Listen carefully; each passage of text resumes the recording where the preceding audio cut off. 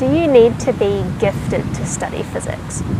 I'd say definitely no, and especially not with the uh, typical definition of the word gifted, which means getting high grades in school. And I think if referring to yourself as gifted was a requirement for studying physics, then not many people, and at least definitely the best people, would never do it. I think this is flawed or a flawed idea in a few ways.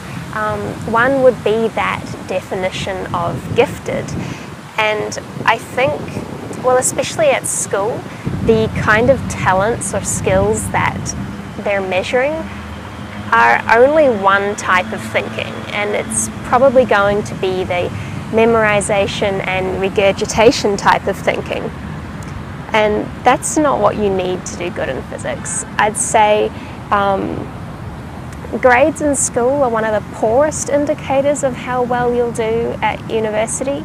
A better indicator of whether you'd do well studying physics would be are you really curious about the world and do you really want to learn more about it? If no one can stop you from wanting to learn more about the world, I don't think you should try to stop yourself from studying physics. Another good indicator would be resilience, um, because doing physics is hard. I've done a lot of science communication type things over the years, and I love sharing that curiosity for the world with people and engaging them with science. But I usually stop one step short of encouraging them to go and study a physics degree for themselves because I feel that for most people it actually wouldn't be a good fit and it has nothing to do with how gifted they are. It's sort of do they love it enough to go through all the hard work that's involved? I've had really gifted friends drop out of the program.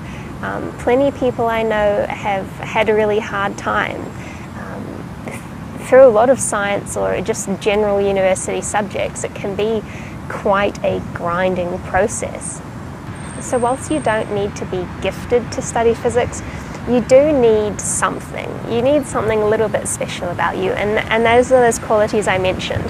Maybe even a little bit of madness to want to do it and to want to do something that most people consider to be too hard or too daunting or too boring. Um, I've heard that one a lot. What physics really needs are diverse thinkers. When you get down to the research stage, the ability to think outside of the box is what's going to help research go forwards.